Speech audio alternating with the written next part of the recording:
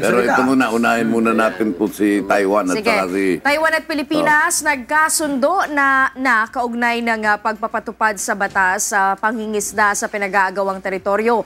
Batay sa anunsyo ng Foreign Ministry ng Taiwan, layo ng kasunduan na iwasang maulit ang insidente sa Balintang Channel sa pagitan ng Philippine Coast Guard at Taiwanese fishermen na nauwi sa pagkamatay ng isang mangingisda.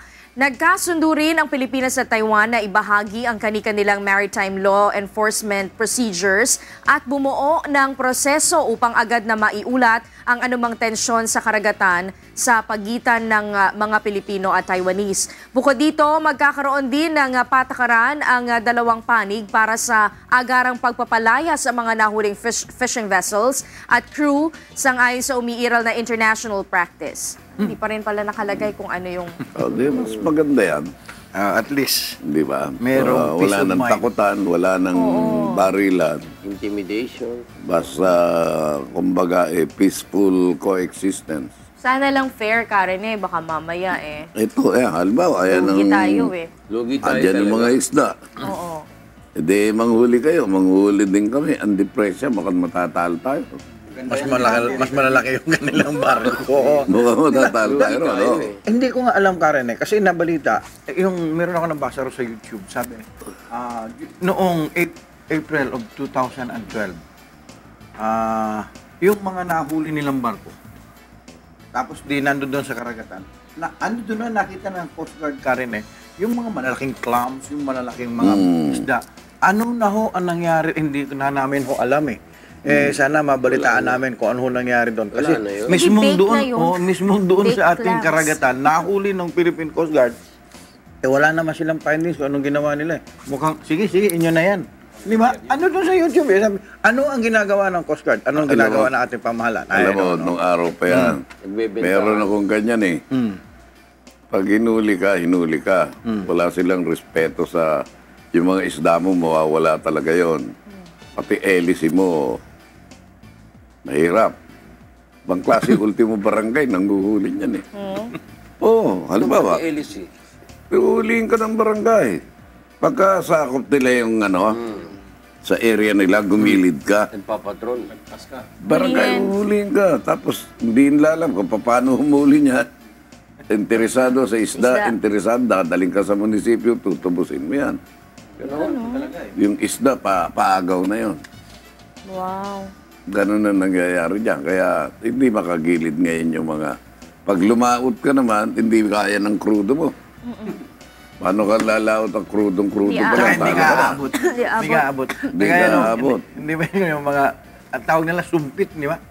Yung kumpit nila doon sa. Cotabato. Yun ang tinatawag na friendly competition. Hindi nila abot-abot mga smuggler dyan sa Cotabato.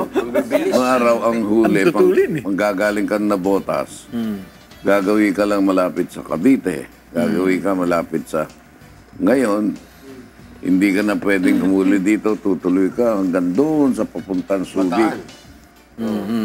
Hanip naman yung krudo mo. Patay ka Ubus sa ka. krudo. Ubus ka. Ubus. May isda pa Ubus ba? ka.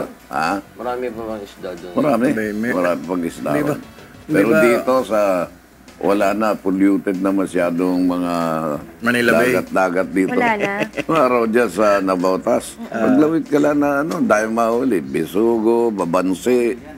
Kung ano-ano. Ma makakahuli ka na ngayon. Wala. Papakol. Patay na. May ulam ka na kaagad. Oo. Kung ano ba ito sinasabing ano, sex for fly scheme? Narinig ko to sa inyo nung ano ha, last week it- sa inyo ni Kuya. Ah, pababa po ulit.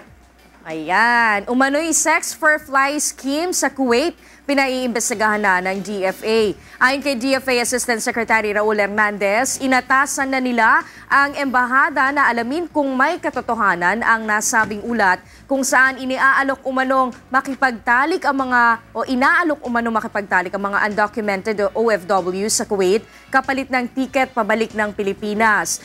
Hinihikayat naman ni Hernandez na lumantad kung mayroon nga nga biktima ng Sex for Fly scheme dahil mahirap itong patunayan kung walang magsusumbong at tetestigo. Ikaw, Kasi ang problema, ang problema yan, yung iyong ano, karangalan mo, Karen. Kung minsan ikaw, eh, dalagang Pilipina. Kung minsan, hindi ka na lang magsusumbong. Oo nga, Makauwi ka na Yung lang dito. kagustuhan mong di ba? makauwi, ano? Parang sa campus yan eh. Yung ano, yung 4 o 4.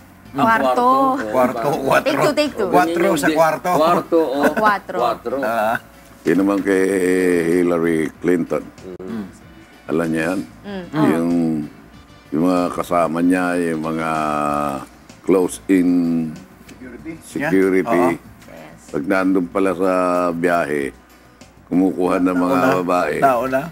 sinasama ron sa kwarto nila. Talaga? Nahuli.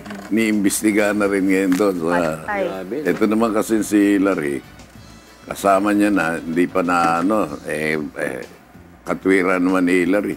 Si Clinton nga, yung asawa ko, eh, sa loob ng oval eh. Napalusutan ako, ito pa mga bodyguards. Ano pakialam ko dito sa mga Ano pakialam ko dyan? yung isa ano eh, bantay na bantay sarado na eh. Bantay sa sarado. Na pero nga yan. maganda si Mukari. Ano Ang po? gagaling niya kasi naman eh, kasi siya eh, no? Hindi naman niya malalaman yung mga ganon. Oo, eh. Tsaka after ng trabaho, wala na eh. Eh, yung mga biyahe-biyahe gano'n, yung mga close nyo, pag-ingatan nyo. Itong si Drillon, dapat pag-ingatan mo kung meron ka dyan. Bakit? Nasa Amerika Nasa na si. Drillon, nagtatalumpati. Wow. Binebenta si Pinoy doon. Ba? Oo. Mahal naman, kadak- Karen, ah, mahal. ang kadakilaan ni Pinoy. Lahat. Yung Nasa- kung ano yung mga nagawa na ni Pinoy na... Bakit si Drilon? Siya ang ano, siya talaga. Emisary. Siya Siya ang ambassador of goodwill. Wow. Siya nagtatalumpati lahat ng mga kung ano man sinasagot ni Drilon. Kaya sigurado tayong ah, maganda magiging relasyon ni Drilon At ni ng Pinoy. Senado at ni Pinoy. Siyempre, lalo na pag siya yung ano. Oo, eh, Senate sana yung President. ganyan, huwag garapalan. Oo. Gawin mong ah, medyo. And this Alam, na, alam natin na kailangan mo si Pinoy in the same vein na kailangan ka rin ni Pinoy. Pero yung Bulgaran, magpag-iinalangan ka ng tao pirmi. Ang magiging tingin sa iyo, puppet. Pangit yung tinitignan ka, puppet ka. Maganda nga yung magpuput on kayo ng show eh. Snow job, kunwari, kumakalabang ka, kalabang. Ganun si Enrile. Akala mo, kamping-kape kay Corona. Nung bandang huli, nakita mo, biglang kumambyo. Ganun na mga dissenting tirada, Madison Avenue, boy. Ang mahirap dyan, yung all the way through. Ah, ikaw ang tagapagsalita. Oh, baka magalit pa sa'yo sila Sierda. Magagalit sa'yo yung mga tagapagsalita sa Malacanang. Kanyang... So, si Eh, you are yun. overstepping your mark. Hindi tama yan, kami lang. Bakit, di ba? pangit. Yung, yung si Dilima, ganun din. Eh, Bibigay kay Pinoy.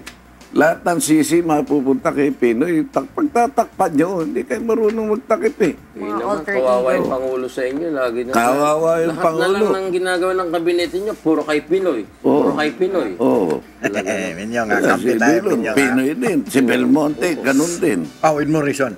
Siyempre ko ako si ang presidente, gagawin ko rin ang ginagawa ni Pinoy. Pero kayo naman, eh, simplihin nyo. Simple lang, disenteng garapal. Siyempre garapan. ano, medyo bastos, ano ba yun? Maginoo. Maginoo. Pero medyo... Medyo bastos. bastos, ganon. Maginoo. Eh, wala, nakabulat, nakabulat-lat ka, para ka walang panty. Ay! Yun na naman, Ito nakalilis. si, ito si Dilo, no? Pero sigurado na ba na Wala ka nakalilis. siya Ah. president? Ano, ano? Siya na ba talaga? Oh, Wala naman ba, yung si lalaban eh. Pinoy na nga nagsabi, Wala ano ba naman? May lalaban ba?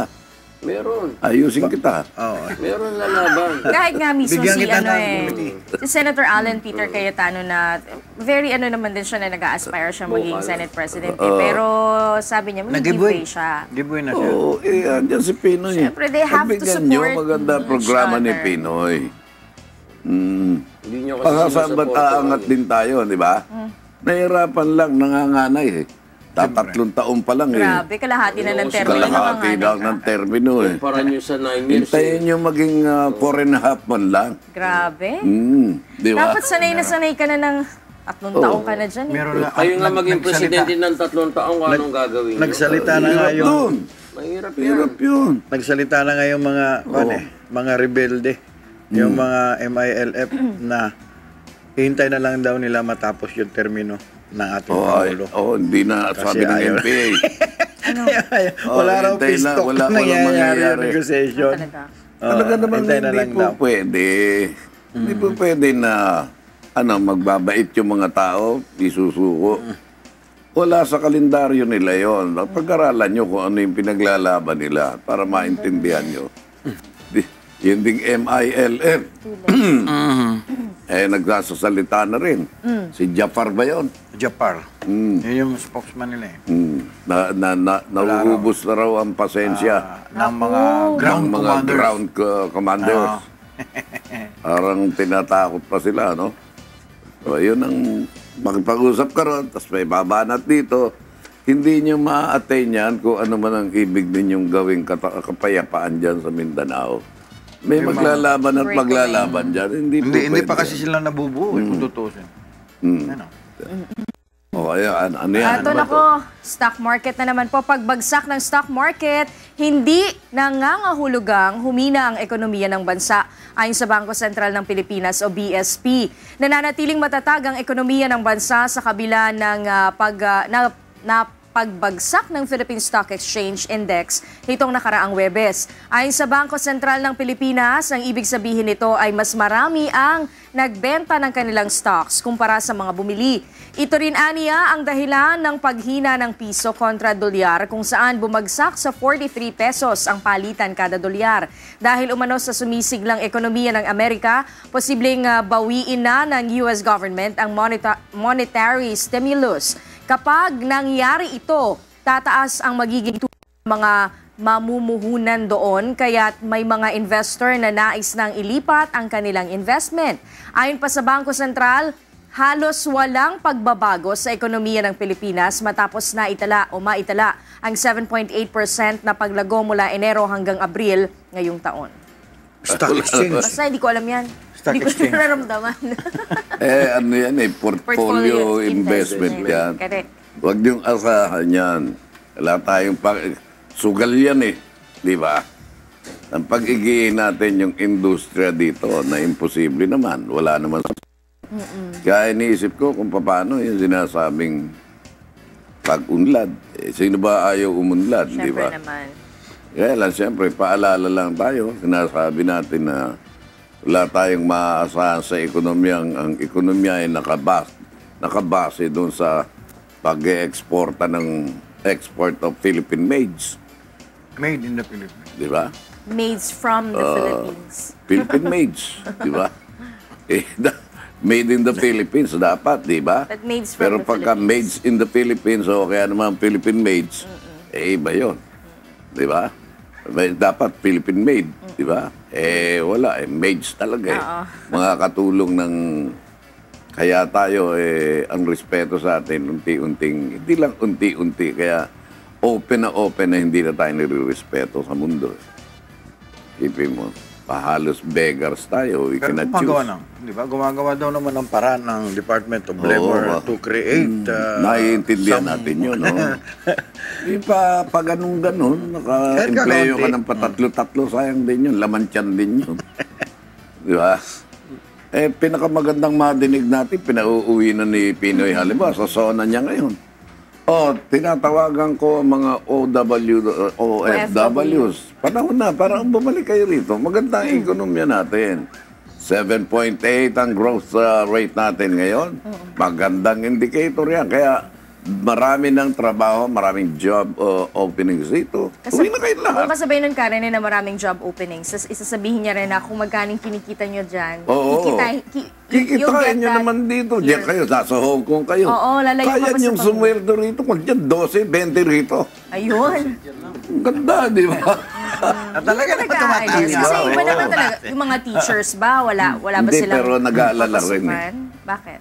Ako man nag-aalala. Baka, sabi eh, kinukontrol na nga natin ang populasyon, pauuwi nyo pa rito yan. Dadami tayo na. ang, ang mabigat yung teachers na sinasabi mo. Hanggang ngayon yung sa Comelec, hindi pa pala bayad Oo, yung mga bayaran taga yung Mindanao mga sa. Babalik ko kami pag babayaran. Ano balita namin part yan. 2? Mainitin kayo.